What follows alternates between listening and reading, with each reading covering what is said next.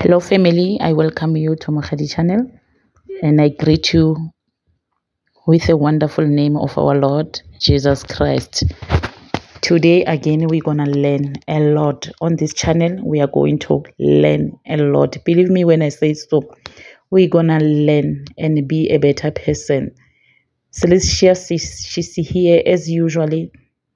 She's going to teach about people who forget their dream. There's a people who forgot totally what they dreamed about.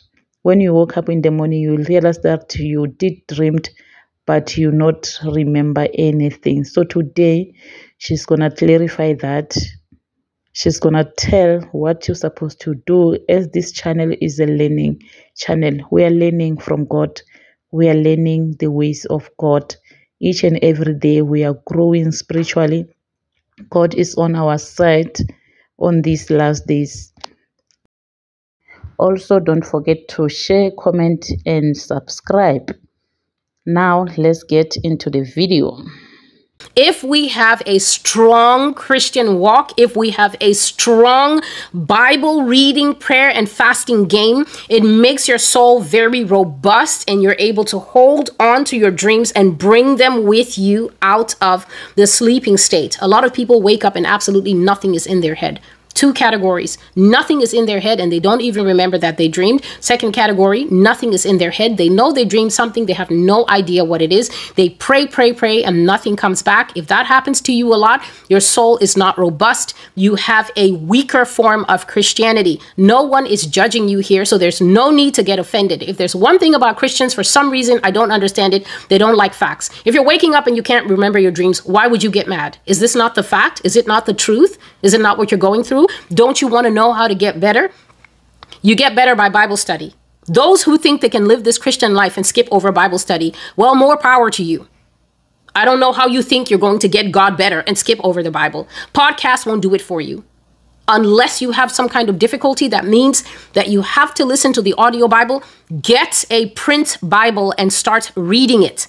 The entirety of the Bible has been given us given to us for many things, but one of the things it says is instruction.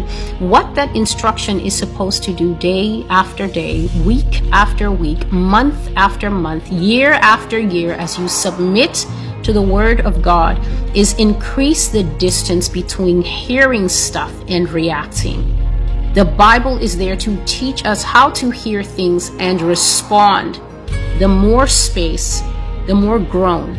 The less space, no matter your age, the less grown. We still have three more months until the end of the year. Get a print Bible and make sure that you contact those words to your eyeballs every morning and every night.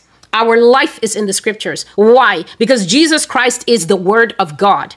He is the Word of God. You are literally immersing yourself into the risen Christ every time you enter the Word of God the Bible actually supernaturally imparts so much robustness into you.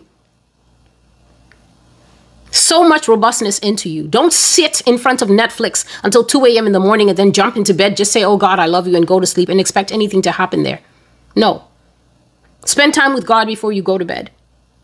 Pray and say, Lord, I cover my spiritual sight. Help me to remember what I see. Help me to remember what I hear. Your soul will then start to, the more you read the word of God, the more you incorporate fasting, your soul will become like a net with very few holes. When you go into sleep, when you go into the spiritual realm, when God is throwing fish in there, you will net the fish and then you will bring it out. That's why people are so offended. How come you dream every night? Because I spend the appropriate time with God. I don't know what you're doing. Some of it is because I know what the requirements are. And then the rest of why I dream so frequently is because I am called by God to a particular office. That office has what we call revelation gifts seeing of visions, hearing God's voice, and dreaming of dreams. They go along with the prophetic mantle, not being prophetic, the function, the gift, the office, the calling. Those things he gives them to me just because those things are the gifts that come with what I'm called to be without repentance. We thank God. We thank God for you, Celestia. We thank God about your assignment. I think you learn something. Each and every time I learn a lot on this channel.